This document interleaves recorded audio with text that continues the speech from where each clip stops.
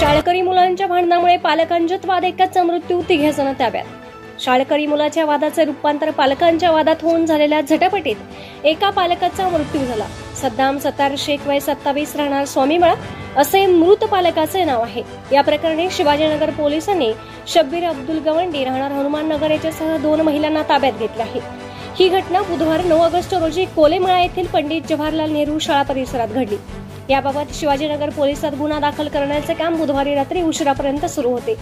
याबाबत पोलिसातून मिळालेली माहिती अशी स्वामीमळा येथील साई मंदिर परिसरात राहणारा सद्दाम शेख हा टेम्पो चालक आहे. त्याचा मुलगा आणि त्याच परिसरात राहणाऱ्या शब्बीर गवंडी यांचा भाचा हे दोघेही महानगरपालिकेच्या पंडित जवाहरलाल नेहरू विद्यामंदिर या शाळेत शिकण्यात आहेत. शब्बीर गवंडी यांची बहीण सलमा आलासे यांच्या मुलाने शेख यांच्या मुलास मारहाण केली होती. शेख याने या कारणावरून आलासे यांच्या मुलास कानफटीत मारले होते. या घटनेची माहिती कळताच सलमा यांनी भाऊ शब्बीर गवंडी यांना बोलावून घेतले. शाळा सुटण्याच्या सुमारास शबीर गवंडी आणि त्याचे नातेवाईक तसेच सद्दाम शेख हे शाळेत आले होते. मुलाला मारहाणीचा जाब विचारत असतानाच शेख आणि गवंडी यांच्यात शाब्दिक वाद झाला. त्यातूनच दोघांमध्ये झटापट झाली. या झटापटीत शेख हा अचानकपणे जमिनीवर कोसळला. याची माहिती समजताच शेख यांच्या नातेवाईकांसह भागातील नागरिक घटनास्थळी जमले.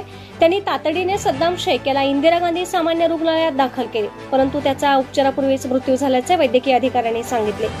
घटनेची माहिती समजताच शिवाजीनगर पोलीस व पोलीस उपाधीक्षक समीर सिंह साळवे पोलीस निरीक्षक राजू तहसीलदार यांनी रुग्णालय येथे धाव घेत घटनेची माहिती घेतली. या प्रकरणी पोलिसांनी शब्बीर गवंडी याच्यासह दोन महिलांना ताब्यात घेतले असून रात्री उशिरापर्यंत गुन्हा दाखल करण्याचे काम सुरू होते. शक्ती न्यूज युट्यूब चॅनेलला सबस्क्राईब करा आणि परिसरातील ताज्या घडामोडी सर्वात आधी बघण्यासाठी बेल आयकॉनला क्लिक करा.